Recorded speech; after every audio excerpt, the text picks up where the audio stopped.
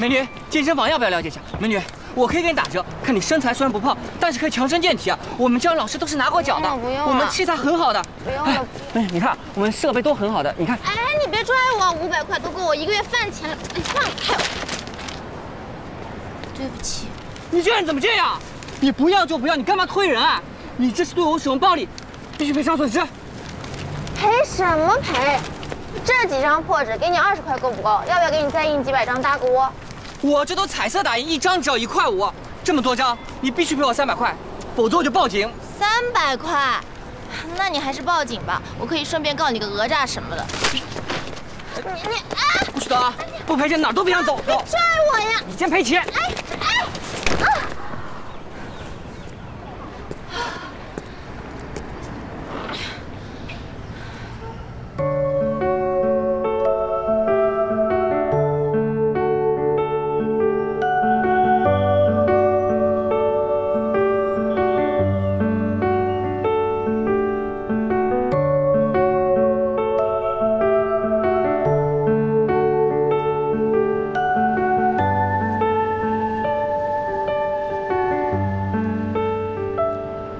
怎么回事啊？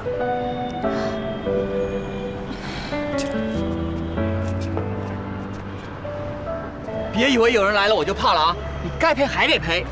赔！哎哎呀！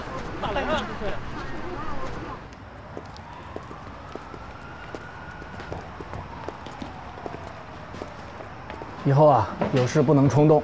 虽然这件事是对方错在先，但是公共场所使用暴力是不对的。知道了，谢谢警察叔叔。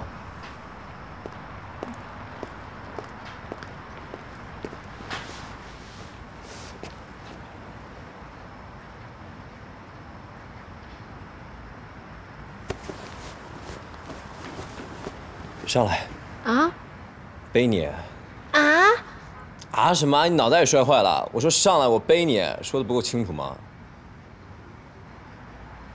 这可是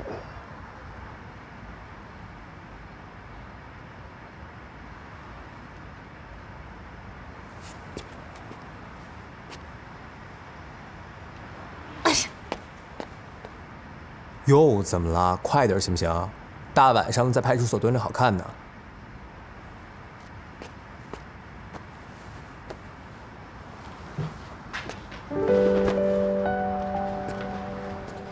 那个网络预售已经弄得差不多了，剩下的就是一些电商平台的配合，发行部已经去弄了。嗯，还有独家赠品，你觉得送什么好？签名，签名会不会不太吸引人啊？你说谁不吸引人？或者转发抽奖，这个很重要的。你有没有什么私人物品？私人用品。我编辑的向上狗头啊。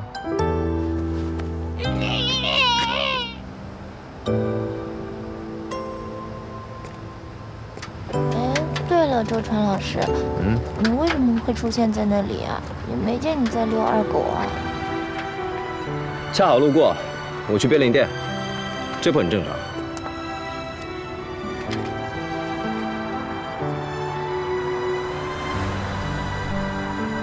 啊，咱俩要不打掉？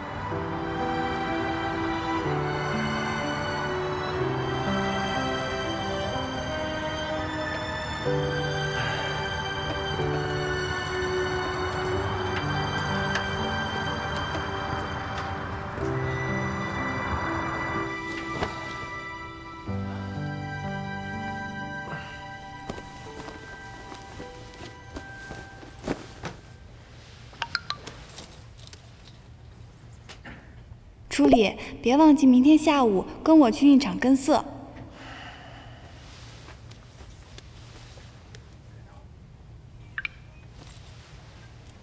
那我上午不去编辑部了，周川老师让我和他商量一下独家赠品。哎，起来，把膝盖消了毒再睡，不然伤口感染的。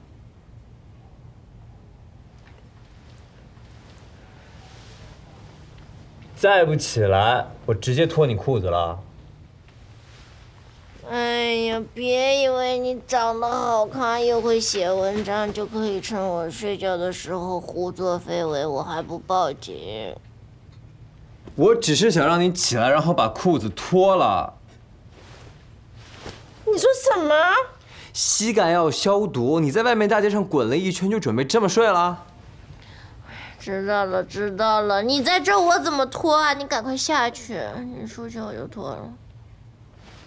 你别以为我不知道你想什么，你就是把我骗走，然后继续睡，是不是？没有没有，你先下去，我马上就脱，好吧？那我一会儿过来检查。